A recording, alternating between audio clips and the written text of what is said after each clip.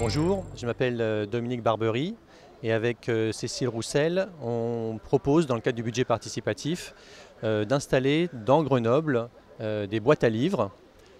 Les boîtes à livres, c'est des mini-bibliothèques qu'on installe sur le domaine public, qui sont accessibles 24 heures sur 24 et où les gens peuvent déposer des livres qu'ils ont déjà lus et euh, prendre des livres qui les intéressent parmi ceux qui sont déjà déposés. Il n'y a aucune obligation de déposer un livre pour en prendre un.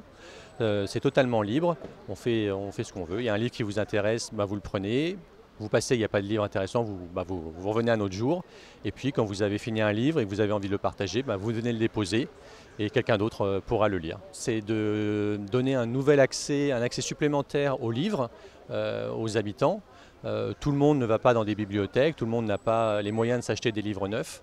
Donc l'idée c'est de donner accès euh, très largement euh, à des livres et à tout le monde dans Grenoble.